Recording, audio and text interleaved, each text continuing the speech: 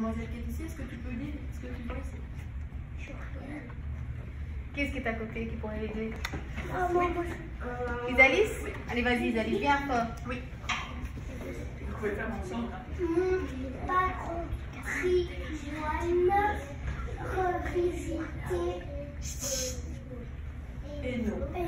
Hainaut, ça c'est le nom de notre province. Vous voulez, c'est comme une grande région. Il y a les ailes, les signes, mais ça va encore beaucoup plus loin. C'est une partie de la, de la Wallonie et de la Belgique.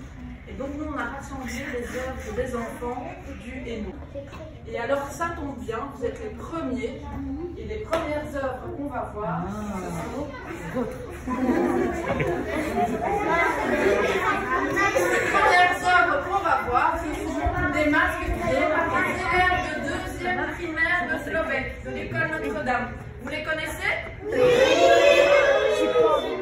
Parce que c'est nous. Et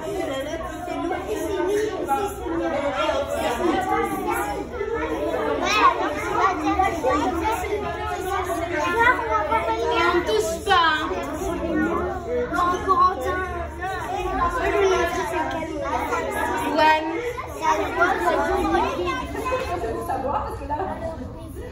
Alors Lucia, elle est allée aussi dans d'autres classes. Euh, ils ont choisi le musée royal de Marino. Et justement, où est-ce que vous allez jeudi prochain Ce jeudi au musée royal de Marino. Alors, au musée royal de Marino, il y a deux parties. Il y a un musée à l'intérieur avec des collections, des trésors, des œuvres. Et, et alors, il y a tout à l'extérieur un, un- des plus beaux domaines de Belgique, un des plus beaux parcs avec des arbres anciens, avec des fleurs, un super domaine vert. Et en plus, qu'est-ce qu'il y a dans ce parc? Parce qu'on a un, un musée où il y a des œuvres d'art. Et- C'est un musée, donc oui, dans le parc, il y a euh, un peu des motifs, comme ici, mais en, en plus grand, en bronze. Il y a des personnages euh, et les élèves donc, la classe de, de, de Charleroi, de vous, ont- eux se sont inspirés des personnages pour créer ces œuvres aussi en. Donc vous, vous êtes, vous êtes inspiré des masques du monde pour faire vos, vos œuvres avec différentes techniques, notamment Et eux, les élèves, ils ont sculpté plutôt. Ils ont fait vraiment des personnages et normalement on peut retrouver des figures que vous allez voir dans le parc jeudi. Alors, j'ai entendu le mot Bouddha. Oui. Alors, je ne sais plus si c'est du Japon qui a été transporté ou ça a été transporté de la Chine, je ne sais pas en tout cas. Il vient de, ce Bouddha vient de très très loin et donc ils l'ont transporté et ça fait 4 mètres de haut. Vous avez participé à une expo qui s'appelle le Code Couleur au musée au bus. Et si vous regardez ici, les œuvres qui sont en face de vous, il y a justement un contraste. Est-ce que vous voyez ces couleurs? Oui, voilà, c'est du, tu peux le dire plus, plus fort. C'est du noir et du blanc. Voilà, ici, ça, on a choisi expressément qu'il n'y ait pas de couleur, mais d'être dans le thème, dans la veine du noir et du blanc. Alors, on se retrouve dans une école de la région de Mons, à Dour.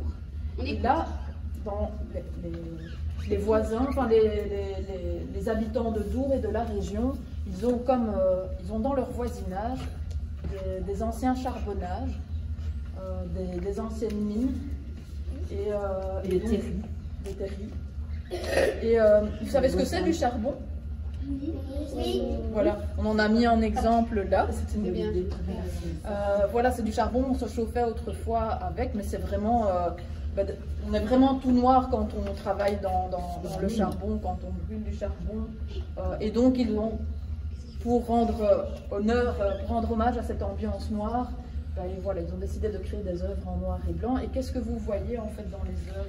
Qu'est-ce que vous pouvez reconnaître? Je vais voir. Est-ce qu'il y a quelqu'un qui reconnaît quelque chose? Des personnages ou un paysage?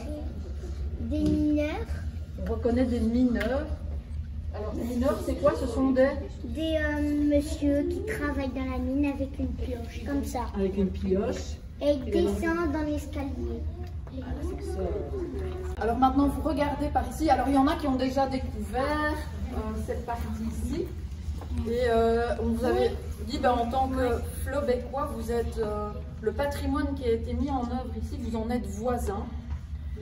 C'est un patrimoine qui est lié à. qui est associé à C'est Elzel. que tu parlais Voilà. Oui, je l'ai vu. est associé à Elzel. Et à Elzel, c'est le pays de quoi Ça existe Des sorcières. Des sorcières, des sorcières. Sorcières magiques Non, mais ça, ça existe.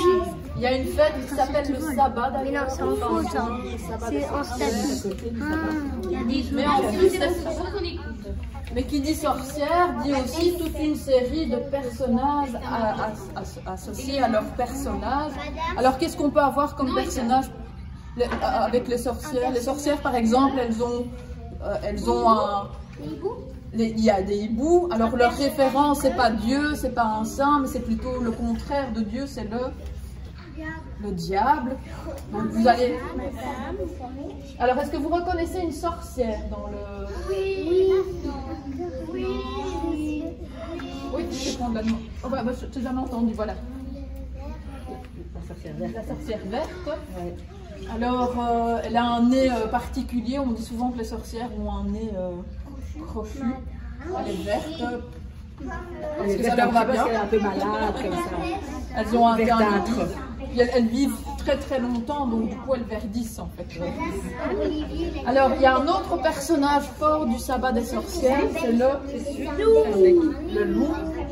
Là, vous avez un personnage mystérieux, et puis là, vous avez un personnage à multitête. Oui, c'est ça. Cette tête. Alors, c'est le sentier de l'étrange, à- les personnages du sentier de l'étrange à Elzel. Vous pouvez le visiter. Vous habitez à Elzel Est-ce que vous êtes allé déjà promener sur le sentier de l'étrange Oui. Et qu'est-ce qu'on voit sur le sentier de l'étrange Une statue comme ça. Des statues, des statues. Oui.